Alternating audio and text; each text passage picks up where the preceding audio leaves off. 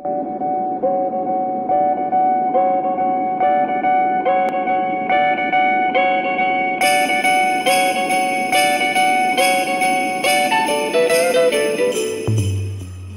maligayang maligayang Pasko po sa inyong lahat. At eto na naman po tayo sa ating pong Christmas parade at ang ating pong Christmas ball competition.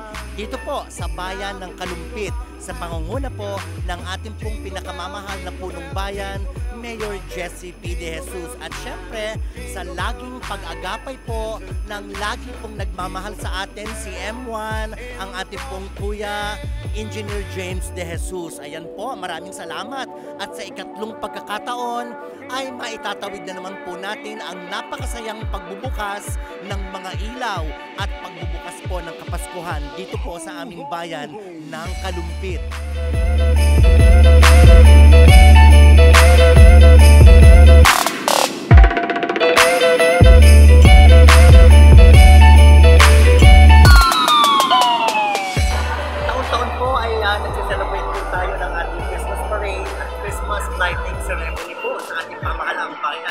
At uh, sa ikatlong uh, taon nga po ito ay uh, lagi natin katuwang ang DepEd.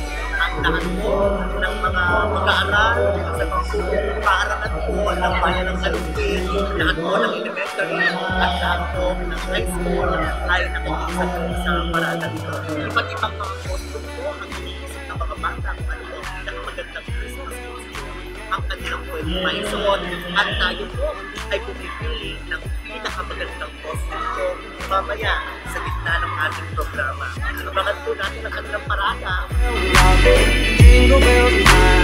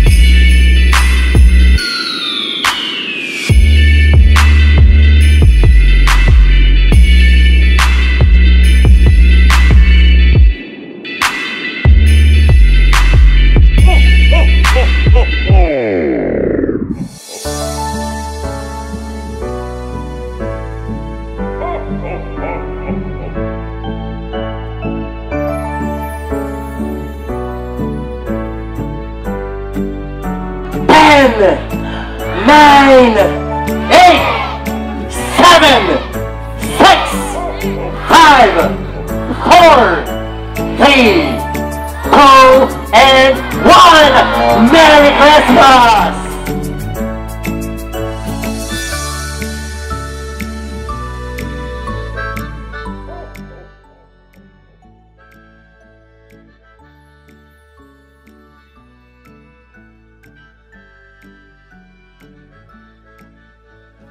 At ito nga po sa pangunguna ng ating pong pinakamamahal na Mayor Jesse P. De Jesus ay nakatapos na naman po tayo ng isang matagumpay na Christmas lighting ceremony dito po sa pamahalaang bayan ng Kalumpit.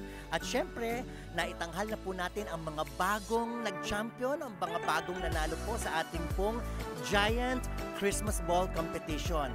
Ang lahat po na ito ay dito nyo lamang po nasasaksihan sa aming pong pinakamamahal na bayan ng Kalumpit sa pangunguna po ng ating Mayor Jesse P. De Jesus at syempre ng Kalumpit Tourism Office. Kami pong lahat ay bumabati sa inyo ng maligayang Pasko at manigong bagong taon. Ang lahat po ng yan ay dito nyo lamang matatagpuan sa bayan ng Kalumpit.